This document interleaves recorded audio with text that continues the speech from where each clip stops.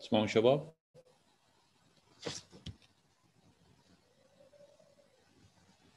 وعليكم السلام دكتور سمعك وعليكم السلام دكتور نسمعك. بسم الله الرحمن الرحيم. معكم دكتور نشأت علوم مادة الهستولوجي دكتور 8 المحاضرة الثامنة. هذه المحاضرة إن شاء الله استكمال المحاضرات المحاضرة السابقة اللي تكلمنا بها عن digestive system اللي هو الجهاز الهضمي. ونهاية المحاضرة كانت تتعلق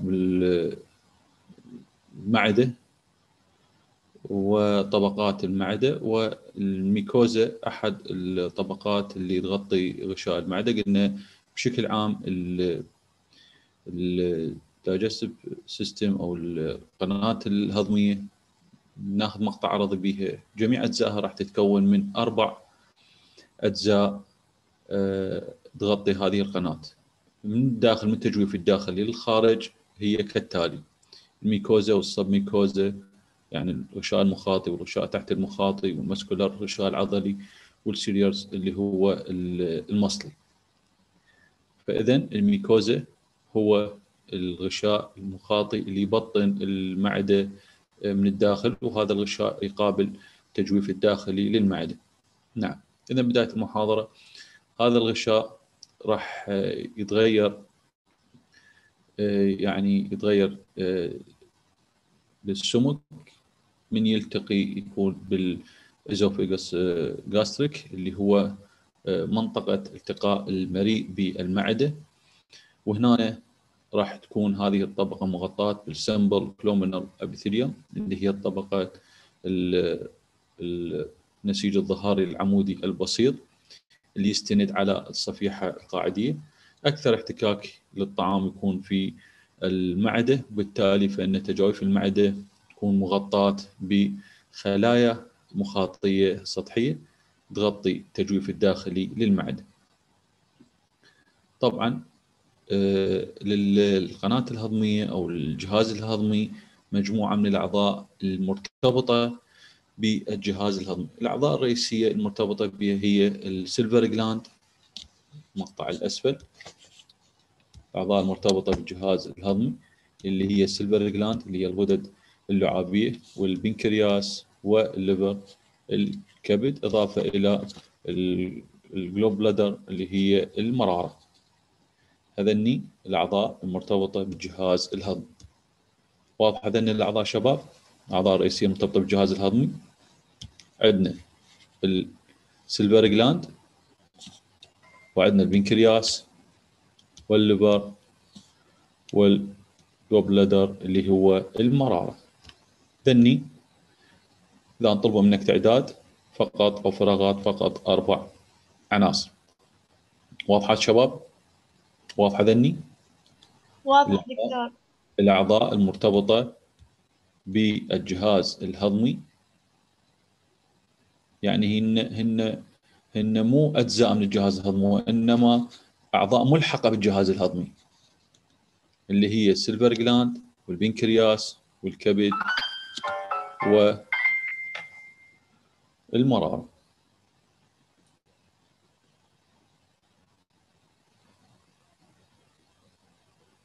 واضح شباب؟ ذني أه هسه كل واحدة من عندهن فد إيجاز عن يعني ما تنتج هذه الأعضاء. هذه الأعضاء تنتج مواد تساهم في عملية الهضم هضم الغذاء الداخل الجسم. النواتج اللي يعني النواتج كانه هرمونات أو أي نواتج تساعد على هضم الغذاء اللي يكون داخل القناة الهضمية. الوظيفة نتكلم عن الوظيفة الرئيسية ل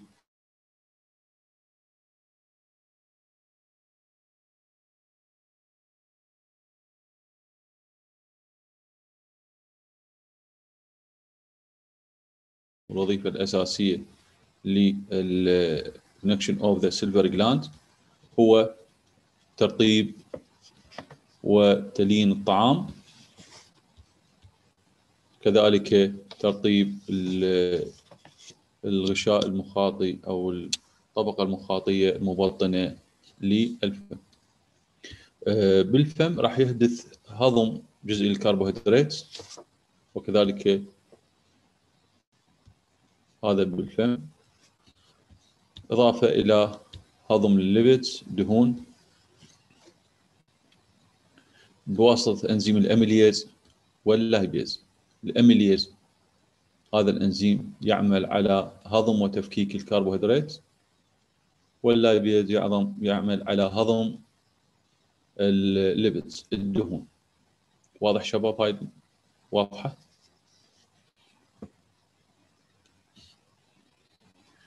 واضحة شباب؟ إضافة إلى إفرازات إفرازات تساهم في آه، في العملية المناعية مثل إفراز ال lysozyme lysozyme. وال lactoferrin lysozyme وال lactoferrin هذه تساهم في العملية المناعية أي بمعنى أنه تحارب المواد الضارة اللي يعني البكتيريا أو اللي قد تدخل مع الغذاء. البنكرياس أيضا أحد أعضاء المرتبطة بالجهاز الهضمي. راح يفرز أنزيمات هاضمة digestive enzymes. هذه الأنزيمات الهاضمة آه، راح تصل إلى الامعاء الدقيقه سمول انتستين وهذه الانزيمات أو الهرمونات تحديدا تكون مهمة في عملية الميتابوليزم. وكذلك مهمة بالتالي في امتصاص الغذاء داخل القناة الهضمية وتحديدا داخل الأمعاء الدقيقة. إذا البنكرياس إفرازات البنكرياس من الإنزيمات والهرمونات هي مهمة في عملية الميتابوليزم اللي تحصل للغذاء. أيضا عملية الأبزورب اللي هي عملية امتصاص المواد الغذائية. البيل أو الصفراء أو الصارة الصفراء اللي موجودة تحديدا أسفل الكبد هذه مهمة وتقع أهميتها في عملية هضم وامتصاص الدهون. هضم وامتصاص الدهون. إذا أهمية إفرازات البنكرياس من هرمونات وإنزيمات اللي تصل للأمعاء الدقيقة هي مهمة في عملية الميتابوليزم وكذلك عملية الأبزورب اللي هي عملية هضم المواد الغذائية. أما العصارة الصفراء إفرازاتها تكون مهمة في عملية هضم وامتصاص الدهون. واضحة شباب؟ واضحة عزيزي؟ هذا السكشن واضح؟ نعم دكتور نعم بالكبد طبعا الكبد أحد ال يعني أحد العناصر أو أحد المكونات المهمة اللي مرتبطة بالجهاز الهضمي الكبد يلعب دور في هضم الكربوهيدرات والبروتينات اللي تدخل مع المواد الغذائية. كذلك آه، مهم جدا في تثبيط المواد السمية. مهم جدا في معالجة وتثبيط وبالتالي تخليص الجسم من المواد السمية. وكذلك ينتج العوامل آه، اللي من ضمنها البلازما بروتينات البلازما اللي تساهم في ال blood coagulation آه، في عملية تخثر الدم.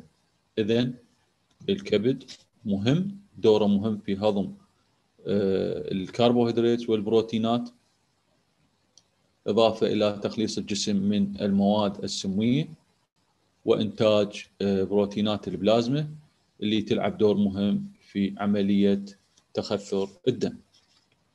واضح هذا المقطع شباب لو أعيده شباب واضح؟ حسين عباس سارة قصي نور عبد السلام واضح؟ دكتور عيدة. نعم. تكلمنا عن الأعضاء المرتبطة بالقناة الهضمية. هذه الأعضاء هي كالتالي هي السيلفر جلاند غدد اللعابيه بنكرياس الكبد وال gallbladder اللي هي المرارة. ذني الأعضاء نحفظهن. ذني أعضاء مرتبطة بالقناة ال digestive tract قناة الهضمية.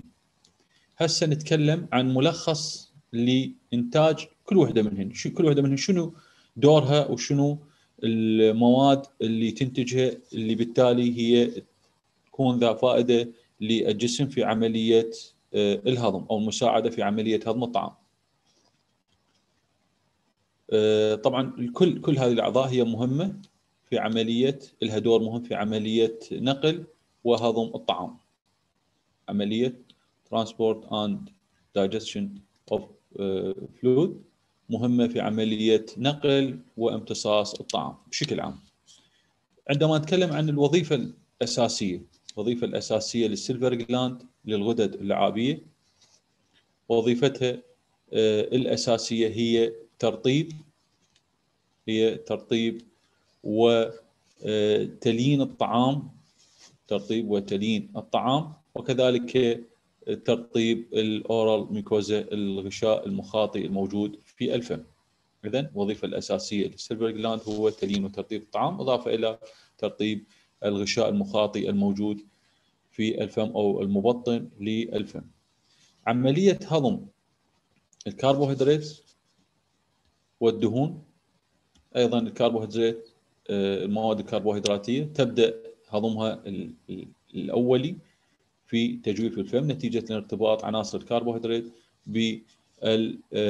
باللعاب فيبدأ هضم جزئي للكربوهيدرات في الفم.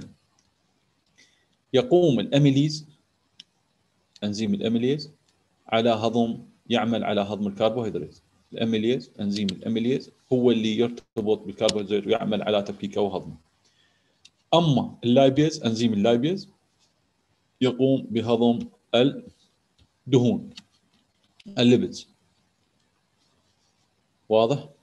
كما هناك إفرازات أو مكونات آه، يعني مناعية أي لها آه، وظيفة مناعية. من ضمن هذه المكونات هي ال lysozyme واللوكتوفورين ذني العنصرين أو الأنزيمين مهمات في العملية المناعية. أي هن يرتبطان بالتخلص الجسم من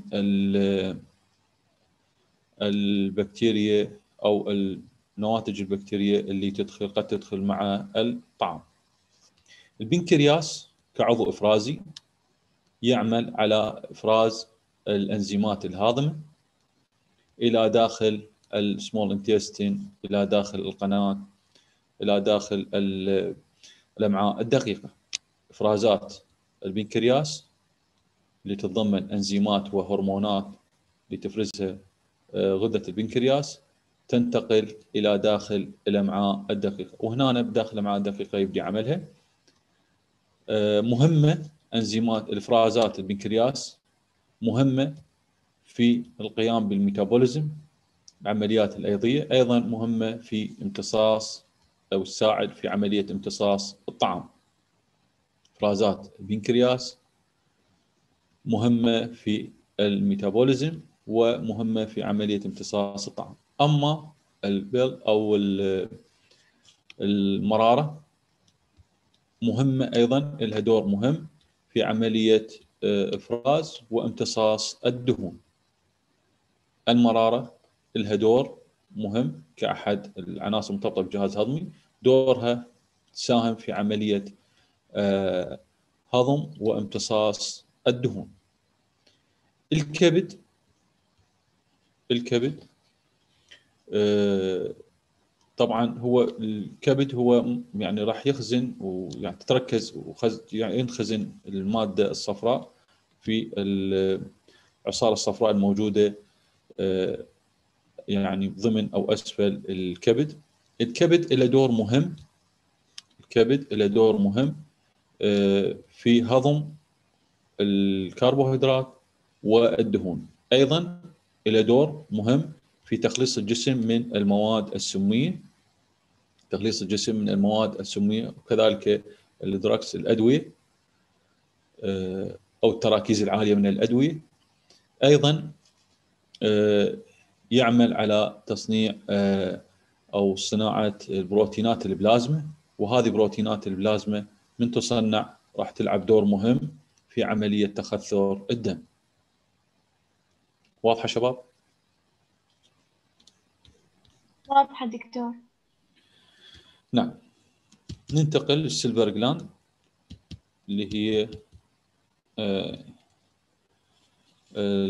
العنصر الأول من العناصر المرتبطة بالجهاز الهضمي بعد تذوق الطعام راح يختلط آه، مع اللعاب وهذا اللعاب يعمل تعمل على أفراز مجموعة من الغدد الموجودة في تجويف الفم. آه، بالإضافة إلى هذه الغدد هناك غدد آه، كثيرة وصغيرة كثيرة تفرز اللعاب. الغدد الموجودة أيضا اللي تساهم في إفراز اللعاب هن ثلاث غدد آه، ثلاث غدد أساسية أو رئيسية ثلاث غدد رئيسية هذه الغدد اللعابيه هي ال parotid اللي هي الغدة النكفية وال submandibular اللي هي الغدة تحت الفك السفلي وال sublingual glands اللي هي الغدة تحت اللسانيه أيضا اذا إضافة إلى وجود غدد صغيرة مجموعة من الغدد الصغيرة اللعاب يفرز أيضا من الغدد اللعابيه الثلاثة الرئيسية اللي هن parotid الغدة النكفية وال submandibular الغدة تحت الفك السفلي وال sublingual آه، اللي هي الغدة تحت اللسانيه واضح شباب؟ الغدد اللعابيه الثلاثة واضحة؟ واضح واضح. دكتور. إذا جتنا تعداد واضحة؟ نكفية غدة نكفية وغدة تحت الفك السفلي والغدة تحت اللسانيه ها شباب؟ واضحة؟ اي دكتور نعم. دكتور واضح. تمام. نعم. هسه الغدة النكفيه طبعا آه، هي أكبر أزواج أكبر الأجزاء أو أكبر أجزاء الغدد اللعابية هذه الغدة. وتقع على جانبي الوجه. تقع على في جانبي آه، الوجه. آه، أسفل. أسفل. آه، يعني أسفل وأمام الأذنين. تقع على جانبي الوجه أسفل وأمام الأذنين. الغدة ال- النكفية. يعني تحاط أو تقع في آه، تجويف أو أخدود هذا راح آه، تنتفخ هذه الغدة في حالة ال infection أو ال inflamed في حالة الالتهاب راح تنتفخ. هذا يحصل عند آه، حالة مرضية تعرف المومس المومس هو النكاف في حالة آه، اصابه بالنكاف راح تنتفخ هذه الغدة وبالتالي تملأ التجويف اللي موجود فيه وتعرف هذه الحالة المرضية بالنكاف. أيضا الغدة ال- تحت الفك السفلي submandibular glands الغدد تحت الفك السفلي آه، هذه الغدد راوندد انشب غدد شكل اللي هيكون شكل مستدير وتقع بال تقع بالجانب الداخلي لعظم الفك السفلي الجزء الداخلي أو جانبي لعظم الفك السفلي آه، ترتبط بها ال- أو تقع أمام العضلة تقع أمام آه، عضلة آه، العضلة البارزة للفك تقع أمام عضلة الفك. هذه الغدة. في حين إنه الغدة السب لينجولار جلانس الغدد تحت اللسانية الغدد تحت اللسانية تقع مباشرة تحت الغشاء المخاطي اللي آه، يغطي آه، المنطقة السفلى تحت اللسان. الغدد تحت اللسانية تقع مباشرة في تحت الغشاء المخاطي اللي يكون مبطن للطبقه تحت اللسان. هذا الغدد اللعابية وعندنا شكل توضيحي يوضح لنا هذه الغدد هذه البرايتد الغدة النكفية تقع أمام وأسفل الإذن طبعا بالجانبين على جانبي الوجه. هذا مقطع طولي ماخذ أحد جوانب الوجه. هذه هي ال parotid gland وهذه هي ال duct of parotid gland القناة اللي تنقل الافرازات ال- الغدة النكافيه إلى داخل تجويف فمي. عندنا هاي ال sublingual glands الغدد اللي تحت ال- ال- اللسانية. هذه الغدد اللي تحت اللسانية. وهذه الغدد اللي هي ال submandibular glands الغدد اللي تحت الفكية.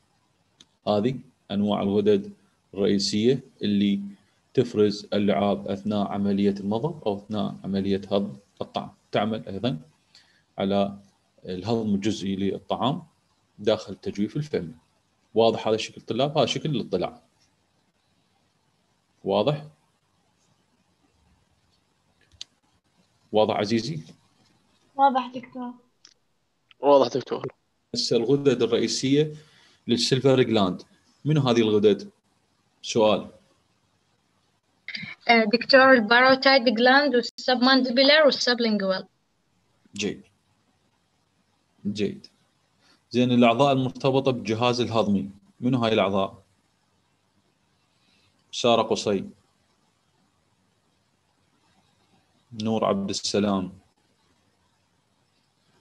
طيبة سعدي موجودين؟ نور الهدى دكتور الأعضاء المرتبطة اللي هي البنكرياس والكبد نعم. والصفراء و... والغدد اللعابية أيضا. نعم. تمام. ننتقل أيضا للجزء الآخر الخلايا اللي الخلايا الإفرازية الخلايا الإفرازية قد تكون serous أو mucosa قد يكون النوع المصلي يعني الإفرازات تكون مصلية أو الإفرازات تكون مخاطية.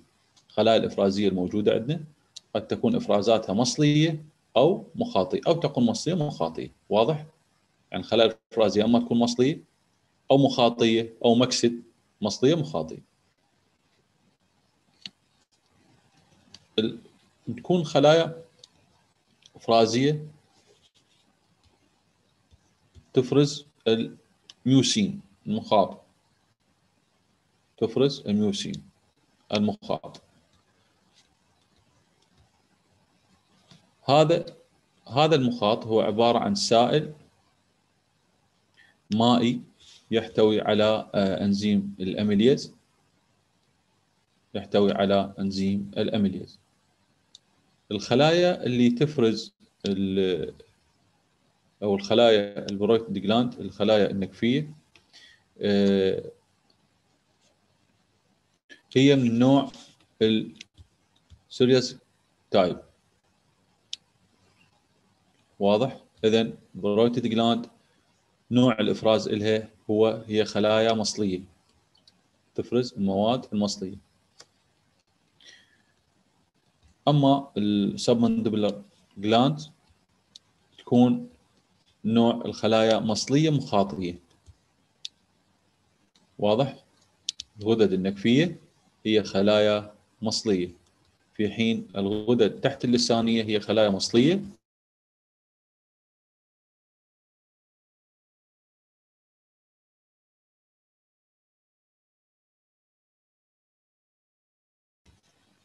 شباب الخلايا الإفرازية هي أنواعها يا أما تكون مصلية أو مخاطية أو قد تكون مصلية مخاطية. واضح شباب؟ الصوت واضح؟ واضح دكتور. الغدد الإفرازية تكلمنا عنها يا أما تكون مصلية أو مخاطية أو مصلية مخاطية. واضح؟ السائل الميكاس المخاطي هو عبارة عن سائل آه، مائي. آه، هنا الخلايا اللي أو الغدد البرويتد غدد النكفية هي عبارة هي من النوع المصلي. الغدد النكفية من نوع الغدد المصلية. تفرز الغدد المصلية. تفرز السائل المصلي. السب مندبلر جلاند الغدد تحت اللسانية هي مصلية مخاطية. النوع يعني تحتوي عن نوعين مصلية مخاطية. واضح شباب؟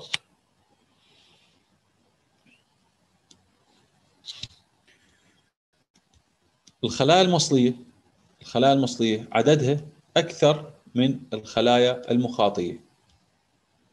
بمعدل أربعة إلى واحد.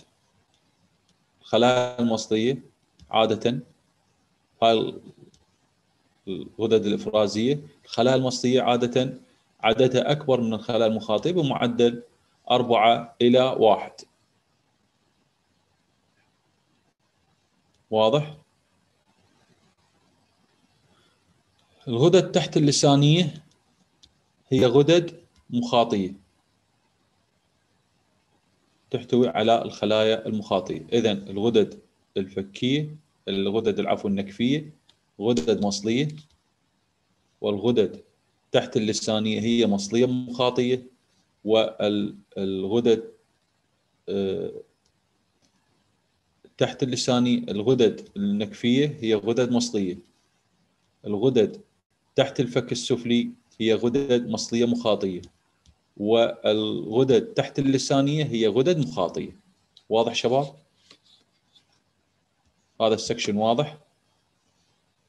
أريدك تفهم لي هذا الشيء إنه أكو غدد مصلية وأكو غدد مخاطيه وأكو غدد مصلية مخاطيه هسه الغدد اللي أخذناها هذين الثلاثة من يا نوع نقول الغدد النكفية هي غدد مصلية من النوع المصلي الغدد تحت الفك السفلي غدد مخاطيه مصلية الغدد تحت اللسانية هي غدد مخاطية.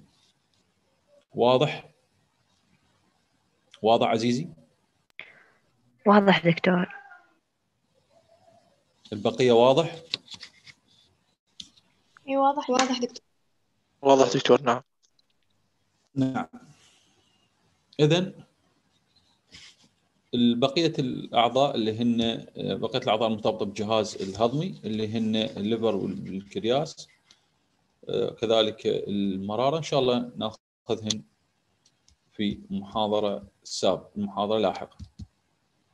ال small intestine نتكلم عن الأمعاء الدقيقة والأمعاء الدقيقة باعتباره أحد الأعضاء أو أحد مكونات القناة الهضمية أحد مكونات رئيسية للقناه الهضمية. آه، طبعا تبدي آه، موقعها آه، مباشرة بعد المعدة. في الامعاء الدقيقه يتم عملية الهضم. الهضم بشكل أكبر وبشكل واسع يعني 90% من المواد من الطعام اللي يدخل القناة الهضمية راح يكون هضمة وامتصاصة داخل النواتج product of digestion يعني المواد أو المنتجات الهضم راح تكون تحديدا في الأمعاء الدقيقة. 90% من المواد الغذائية داخل القناه الهضمية تمتص داخل الأمعاء الدقيقة عن طريق الابزورب سيل اللي هي الخلايا الامتصاصية الموجوده ضمن طبقات جدار الأمعاء الدقيقة. طول الأمعاء الدقيقة طبعا الأمعاء الدقيقة تحاط بخلايا بطانية آه، طول الأمعاء الدقيقة حوالي 5 متر وأجزائها هي كالتالي طولها 5 متر وأجزائها هي الأجزاء الثلاثة أمامكم اللي هي دودينم الاثنى عشر والجوجينيوم اللي هو اللفائفي والإيليوم اللي هو الصائم. واضح شباب؟ هذه الأجزاء الثلاثة يعني تركيبها النسيجي أو المكون النسيجي لها هو مشابه. هو مشترك أو متشابه بين هذه الأجزاء الثلاثة. اذا ال small intestine الامعاء دقيقة. آه، هي من يقوم بعملية الهضم أي هضم المواد الغذائية أو ما يعرف بال products of digestion أو منتجات الهضم. يتم هضم وامتصاصها داخل الامعاء نتيجة لاحتواء الامعاء على ال absorb ptive cells اللي هي الخلايا الامتصاصية. تتغطى الامعاء وتبطن بنسيج آه، ظهاري. طبعا نسيج ظهاري عمودي راح نتكلم عليه لاحقا. آه، طول الأمعاء يصل إلى حوالي 5 متر. أجزاء الأمعاء الدقيقة هي ال duodenum وال jejunum وال ileum هذه الأجزاء الأمعاء الثلاث. طبعا تركيبها النسيجي هو مشترك. ال small intestine الأمعاء واضحة؟ واضحة شباب؟ اي واضحة دكتور. من يقول لي أجزاء الامعاء الدقيقه منهم شنو؟ الاثني عشر واللفائف والصائم جيد. زين سؤال. هذا ليش سموه صائم ال ileum دكتور لأن الإنسان لما يموت يكون فارغ يعني ما بي أي شيء ما بي لا طعام ولا أي بالضبط. أكثر وقت من بعملية تشريح أو يعني ناخذ عينه فيكون هذا الجزء هو فارغ ف فتعبير مجازي سموه اليوم أو الصائم. نعم. أه بس المعلومة أه نواتج البنكرياس صب الامعاء الدقيقه تحديدا بأي جزء من دن الثلاث؟ البنكرياس مو يفرز هرمونات تحديدا الانسولين صح لو لا؟ بالجيجنم منو متكلم جاي يتكلم؟ زهراء لا. ما شباب البنكرياس إفرازات البنكرياس بأي جزء تقع؟ تنتقل إلى أي جزء من الامعاء الدقيقه تحديدا من الأجزاء الثلاثة اللي أمامكم. أي جزء تتوقع؟ باللفائف بال... لا بالدودينيوم بالإثنى عشر. تمام؟ الميكوزا ننتقل إلى الغشاء المخاطي الآخر اللي هو الغشاء اللي يبطن تجويف الأمعاء وهو يقابل الجزء الداخلي أو جوف الأمعاء الدقيقة. نتكلم عن الأمعاء الدقيقة. عند الفحص المجهري يعني تظهر الامعاء الدقيقة آه، بطانه تظهر بطانة الامعاء الدقيقة وهي تحتوي لنا على مجموعة كبيرة من التجاعيد أو الطيات اللي تكون أشبه بالشكل الدائري أو الشكل اللي شبه الهلالي. الشكل الدائري أو الشكل اللي شبه الهلالي. آه هذه التجاويف اللي موجودة بالامعاء راح تتكون من الغشاء المخاطي وتحت المخاطي تكون من غشاء مخاطي وغشاء تحت المخاطي هذا الغشاء المخاطي تحت المخاطي يكون واضح آه، في الجيجينيوم في اللفائفي آه، تكون أكثر كثافة للغشاء المخاطي في الامعاء الدقيقة. أكثر كثافة له هو في الامعاء آه، الدقيقة.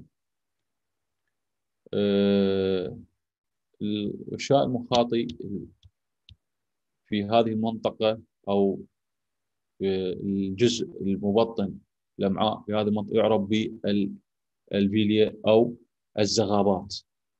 نلاحظ إنه الامعاء الدقيقه البطانة الامعاء الدقيقه اللي تغطيها الغشاء يغطيها الغشاء المخاطي آه هذه الطيات أو الانحناءات تعرف بالفيلي أو الزغابات. طبعا هذه الزغابات المعوية موجودة داخل الامعاء الدقيقة تنطينا مساحة امتصاص أوسع للقيام بعملية هضم وامتصاص المواد الغذائية. واضح؟ تقع داخل تجويف الأمعاء. طبعا هي كتراكيب تراكيب يعني التركيب النسيجي اللي هو هذه الزغابات. هي تتكون من ال simple columnar epithelium مكون لها هو النسيج الظهاري العمودي يعني مجموعة من الخلايا العمودية تصطف وتنطينا بالتراكب تنطينا ال villi تنطينا الزغابات هذه الزغابات تغطى من الخارج بغشاء مخاطي طبعا تساهم بعملية ال absorptive عملية الامتصاص. وهذه الخلايا تعرف بال enterocyte أو الخلايا المعوية. الخلايا المعوية. اذا بطانة الأمعاء تحتوينا على عدد هائل من الزغابات. هذه مغطاة بنسيج مخاطي. بغطاء غشاء مخاطي هذا الزغابات المكون الأساسي لها يعني متكونة هذه الزغابات بالأساس من ال simple columnar epithelium اللي هو النسيج الظهاري العمودي. هي وظيفتها تعد ك absorptive cells تعد كخلايا امتصاصية. تعد كخلايا امتصاصية يعني مهيئة لامتصاص المواد الغذائية اللي تدخل لتجويف الامعاء تعرف أيضا باسم بالإضافة إلى أنه خلايا امتصاصيه تعرف باسم ال enterocyte اللي هي الخلايا المعوية. واضح شباب؟ واضح؟ واضح عزيزي؟ إي واضح دكتور. تمام. أيضا تتداخل مع هذه الخلايا مع هذه الخلايا الامتصاصية أو الخلايا العمودية أو النسيج العمودي. كل مجموعة خل... كل صف من مجموعة من الخلايا الامتصاصية نلاحظ بيناتها أكو خلايا. خلايا آه يعني تكون دورقية الشكل عادة. تعرف بال goblet cell الخلايا الكأسية. goblet cell هاي خلايا بينية تقع بين ال... ال... الخلايا العمودية المكونة لل villi تعرف هذه الخلايا بال goblet cell اللي هي الخلايا الكأسية. هي خلايا وحيدة. الخلايا هي خلايا وحيدة. أيضا خلايا إفرازية. خلايا إفرازية. ال villus أو كل كل زغابة كل زغابة طبعا مكونة من connective tissue من نسيج ضام مفكك. loose connective tissue نسيج ضام مفكك يستند على الصفيحة يعني الصفيحة الداخلية للنسيج وكذلك تحتوي أيضا على ال fibroblast وال smooth muscles fibers وال lymphocyte وال plasma cell وأيضا ال capillaries وال central lymphatic اللي يعرف بال lacteal كل villi تحتوينا على نسيج ضام مفكك مستند على الصفيحة الداخلية أو الصفيحة الأساسية. أيضا تحتوينا على ال fibroblast الأرومات الليفية وأيضا على ألياف عضلات الملساء وعلى الليمف ال lymphocyte اللي هي الخلايا الليمفيه والخلايا البلازمية. أيضا تحتوينا على اوعيه دمويه وتحتوي هذه كل هذه تعرف بال lacteal بال lacteal سبب وجود ال plasma cell الخلايا البلازمية هي القيام بالوظائف الدفاعية. واضح شباب؟ واضح؟ واضح هذا المقطع لو اعيده دكتور. بس عيد على السريع بلا زحمة. نعم. ال- الغشاء المخاطي ال- يبطن أو العفو يغطي آه، هذه الطيات المبطنة للامعاء اللي هي الفيليا الزغابات. طبعا بطانة الأمعاء المواجهه التجويف الأمعاء تحتوينا على العديد من الزغابات.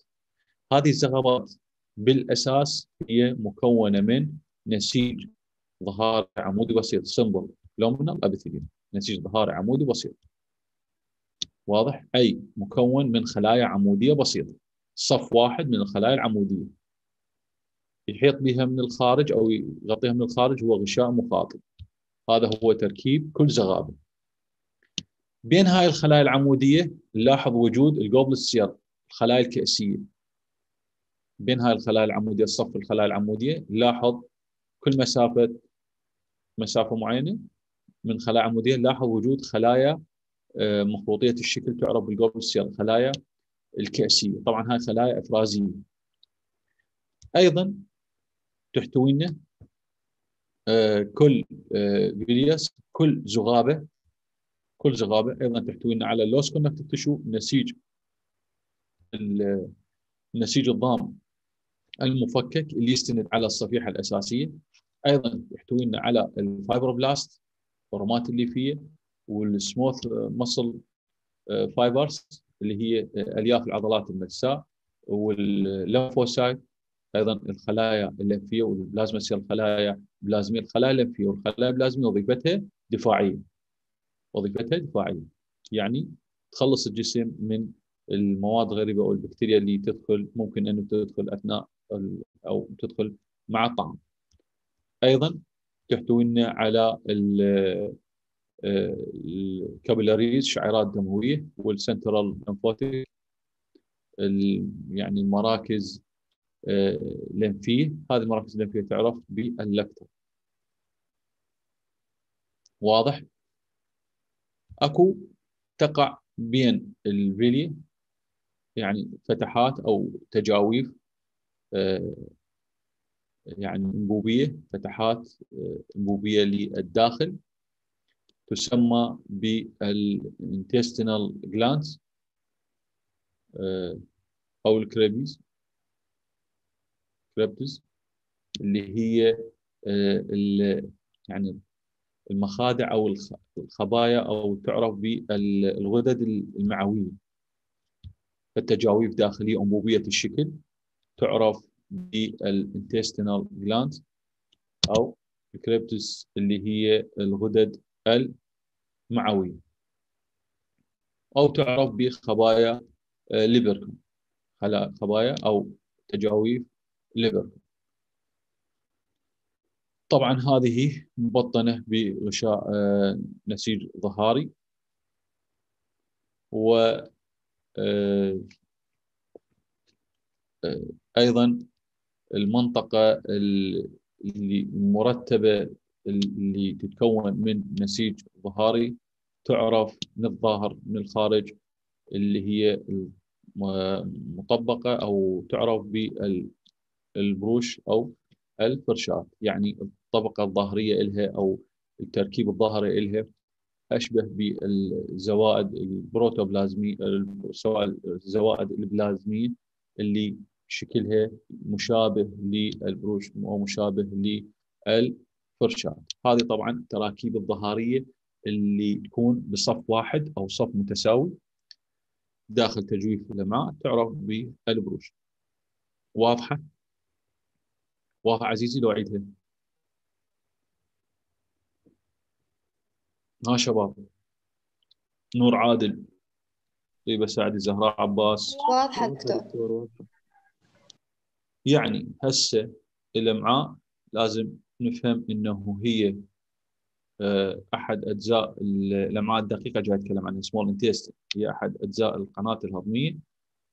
آه، أغلب عملية هضم وامتصاص ال product digestive أو المنتجات الهضمية تحصل داخل الامعاء الدقيقه واضح؟ داخل الامعاء الدقيقه طبعا هي مبطنة من الداخل بتراكيب أو بروزات أو نتوءات آه، تعرف بال villi الزغابات. هذه الزغابات وظيفتها زيادة آه، مساحة آه، آه، الامتصاص مساحة سطحية للامتصاص. اجزاء الامعاء هي الدودينم الجيجينيوم والايليوم ذن الأجزاء الثلاث ما مكونه من ثلاث أجزاء اللي هن الاثني عشري واللفائفي والصائم التركيب أو التركيب النسيجي لهم هو تقريبا مشابه بالاجزاء الثلاث الطبقة الأولى المغطى للأمعاء من الداخل اللي هي مواجهة لتجويف الأمعاء هو الميكوزا الغشاء المخاطي. آه، طبعا راح يتكون من سلسلة من الطيات الصغيرة اللي هي آه، تكون تركيبها آه، شبه دائري أو شبه هلالي. تعرف بالفيليا أو الزغابات. التركيب النسيجي لها هاي مكونة من صف واحد. الزغابات كل زغابة مكونة من صف واحد من ال simple columnar epithelium من نسيج ظهاري عمودي. آه، بين هذه الخلايا العمودية راح نلاحظ وجود خلايا آه، إفرازية. وحيده الخلية تعرف بال goblet cell اللي هي الخلايا الكأسية. آه، أيضا الترتيب إضافة إلى هذه ممكن نلاحظ إنه ال villus راح تحتوي لنا على نسيج ظهاري loose connective tissue نسيج آه، ضام آه، مفكك. أيضا تحتوي لنا على ال fibroblast وال smooth muscles fibers وتحتوي لنا على ال lymphocyte وال plasma cell أيضا تحتوي لنا على ال capillaries وهذه كلها تعرف بال lacteal أيضا لكل من هذه الزغابات توجد تجاويف للداخل بين هذه الزغابات توجد تجاويف أو للداخل تعرف وهي تراكيب أنبوبية تعرف بال intestinal glands الغدد المعوية أو تعرف بخبايا ليفر هذا أهم ما موجود في هذا ال section واضح؟ واضح عزيزي؟ أي دكتور واضح.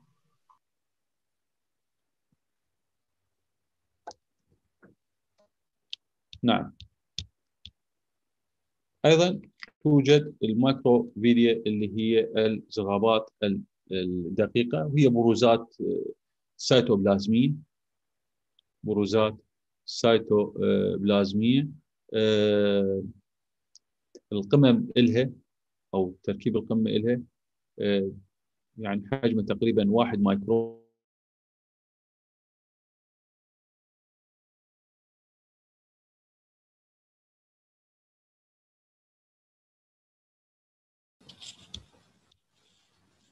عدد هذه ال microvilli عددها حوالي 3000 microvilli لكل آه، واحد مليمتر مربع. آه، أيضا الغشاء المخاطي أو السطح المخاطي لها يحتوي لنا على حوالي 200 مليون آه، من هذه التراكيب الدقيقة. آه، وهذه كلها هي لزيادة ال- السطح ال- آه، اللي السطح اللي آه، يتصل أو السطح الملاصق لتجويف الأمعاء وبالتالي السطح اللي ممكن ترتبط به ال- المواد أو العناصر الغذائية وتتم عملية آه، الهضم والامتصاص. آه، أيضا تزيد المساحة السطحية للامتصاص المايكروفيليا راح تزيد من المساحة السطحية بوجودها بوجودها. راح تزيد حوالي آه، عشرة أضعاف المساحة السطحية بوجود آه، راح تزيد عشرة أضعاف. بوجود الفيليا المساحة السطحية راح تزداد. بوجود الزغابات المساحة السطحية راح تزداد. مساحة الأمعاء الدقيقة راح تزداد حوالي عشرة أضعاف. بوجود المايكروفيليا المساحة السطحية راح تزداد 20 ضعف. 20 ضعف. أيضا المساحة السطحية الإجمالية بشكل عام مساحة سطحية مساحة الامتصاص مساحة سطحية الامتصاص الإجمالية بشكل عام راح تكون حوالي 200 آه، متر مربع بالأمعاء الدقيقة. مساحة سط... مساحة الامتصاص السطحي مساحة الامتصاص أو منطقة الامتصاص بالإجمال. داخل الأمعاء الدقيقة هي راح تكون حوالي 200 آه، متر مربع داخل الأمعاء الدقيقة. واضح شباب؟ واضح عزيزي؟ واضح شباب؟ واضح دكتور. نعم. ال- الغدد المعوية الغدد المعوية أيضا تتميز آه، بوجود خلايا ال stem cell وأنواع آه، من الخلايا. وجود أنواع من الخلايا تبنى على مجموعة أو أنواع من الخلايا. الأمعاء الدقيقة راح تحتوينا على أنواع من الخلايا. راح نتكلم عن أهم أنواع الخلايا الموجودة داخل الأمعاء الدقيقة. النوع الأول اللي هو الانتريوسايتس الخلايا المعوية. النوع الأول enterocytes الخلايا المعوية. هذه الخلايا المعوية هي absorptive cells. هي خلايا امتصاصية.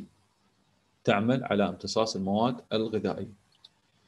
آه، هي شنو؟ عبارة عن خلايا columnar cells اللي هي خلايا عمودية طويلة.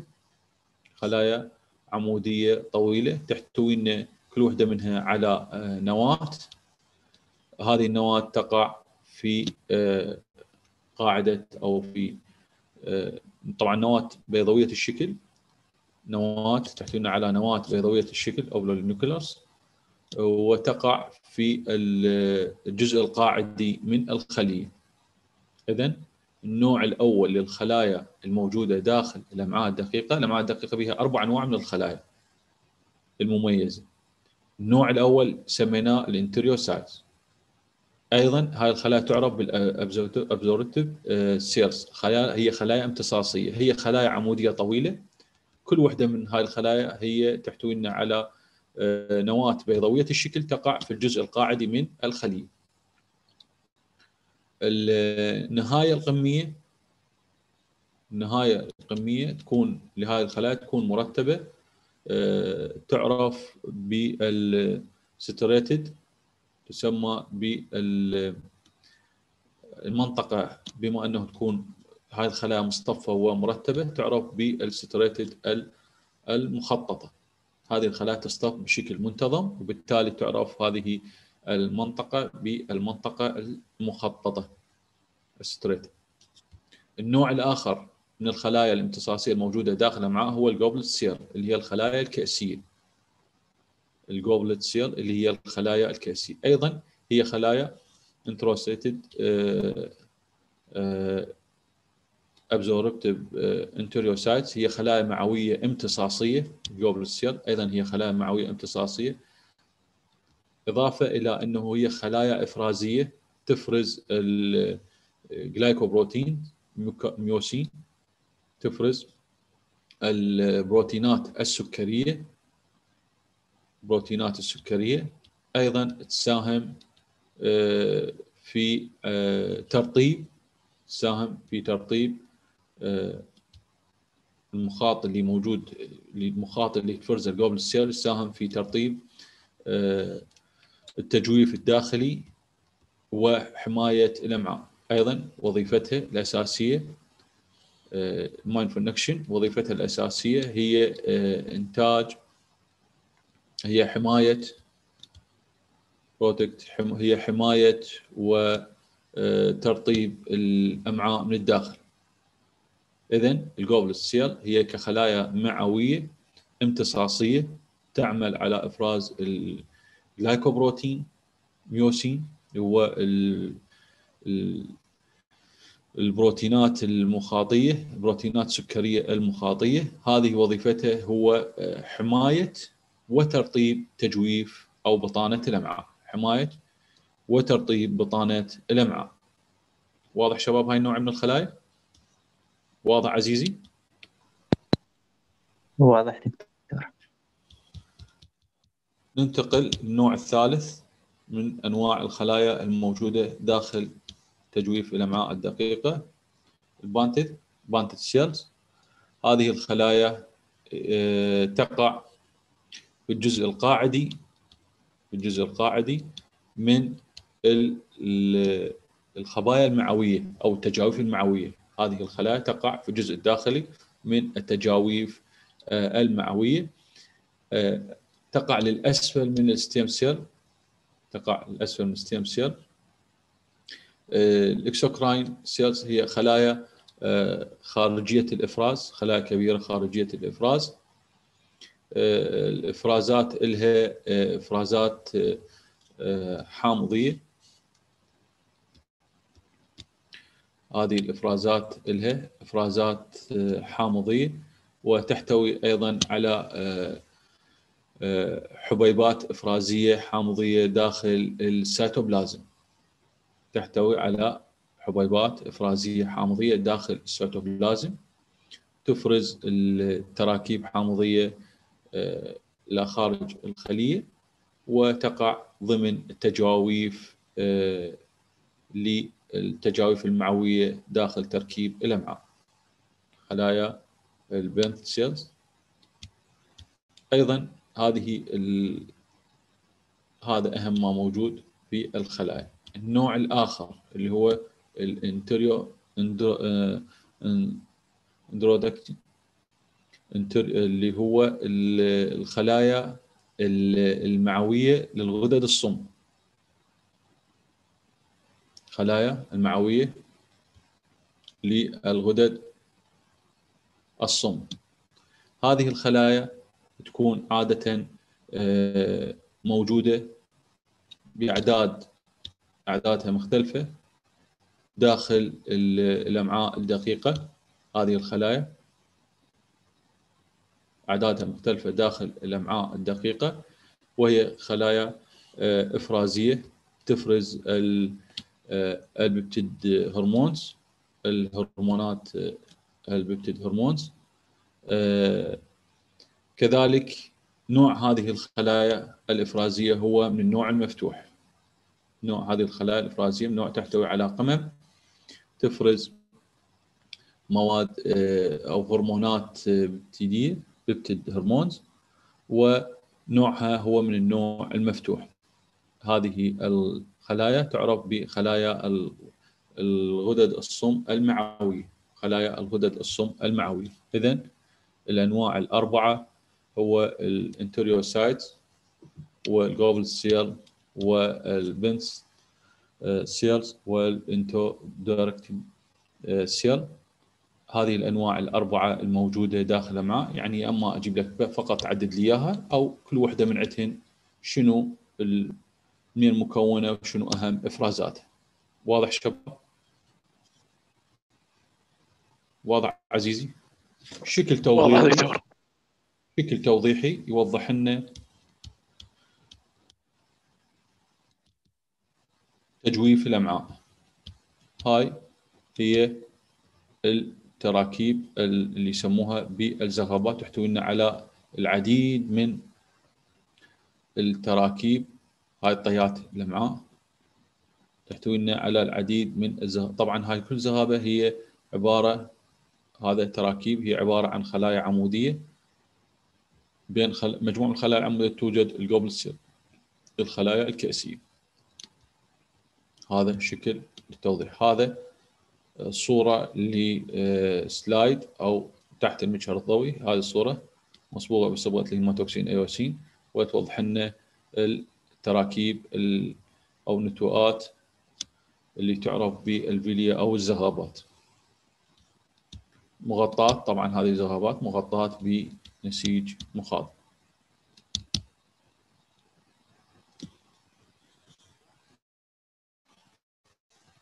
ال large intestine ال large intestine اللي هو الأمعاء الغليظة أو الأمعاء الكبيرة الأمعاء الغليظة. هذه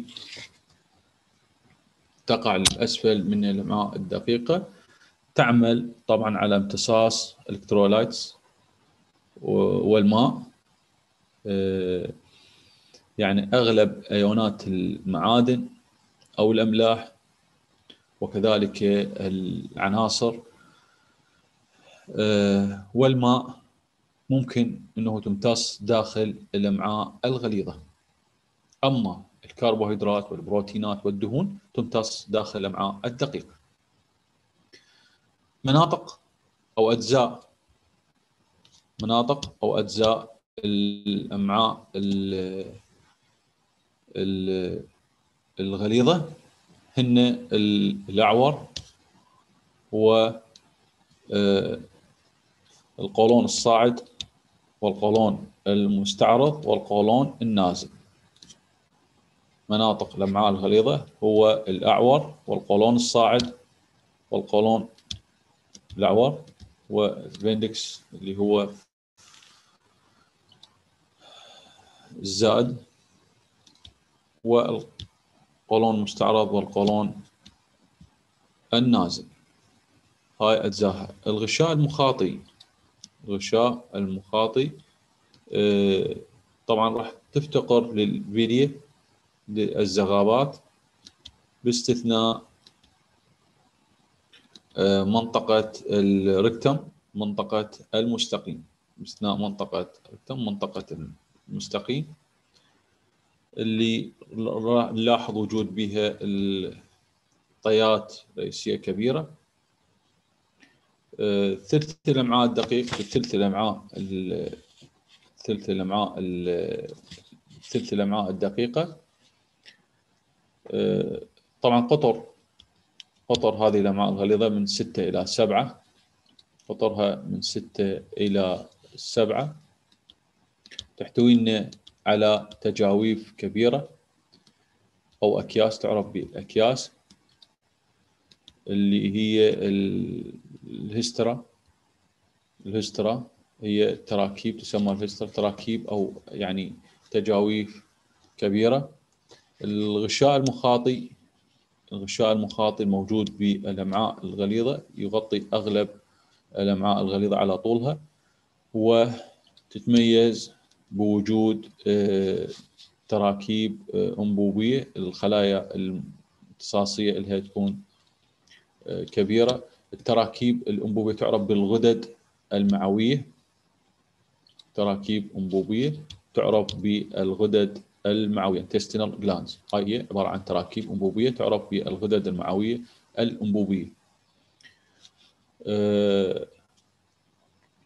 أيضا هذه ممكن إنه نلاحظ آه، وجود خلايا امتصاصية كما هو الحال في الأمعاء الدقيقة بأعداد قليلة.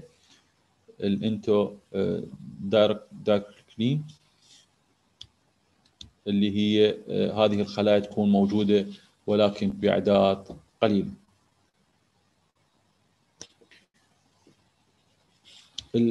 بقية الأجزاء هذا المقطع بقية الأجزاء اللي يتكلم لنا عن آه، التجويف الداخلي الامعاء والبطانة الظهارية والتراكيب اللي ممكن توفر يعني حماية ل من الهجمات البكتيرية. يعني تكلمنا عن التركيب الداخلي للقولون و يعني الطبقات العضلية تكون طولية وعمودية. يعني ما ما هالقد مركز عليه. فقط الجزء هذا المقطع هو ممكن لحد هنا شباب هو ممكن إنه يكون هذا المقطع مهم. هذا المقطع ما نركز عليه. ما ركز عليه. يتكلم لنا عن تركيب الأمعاء. هو نفس تركيب الأمعاء تحديدا نفس تركيب الأمعاء الدقيق. آه، أيضا تكلمنا عن الجزء الأسفل الامعاء الدقيقة اللي يتكلم لنا عن قناه جزء أسفل من الامعاء الدقيقة. أيضا تكلمنا عن ال الانال كانال اللي هو القناة الشرجية. بمسافة 3 إلى 4 سنتيم ومغطاة بطبقة من الخلايا العمودية البسيطة صف من الخلايا العمودية الظهرية البسيطة وأيضا تحتوي منطقة ال rectum على صف من ال stratified squamous epithelial اللي هو صف من الخلايا الظهرية الحرشفية المطبقة كتركيب نسيجي.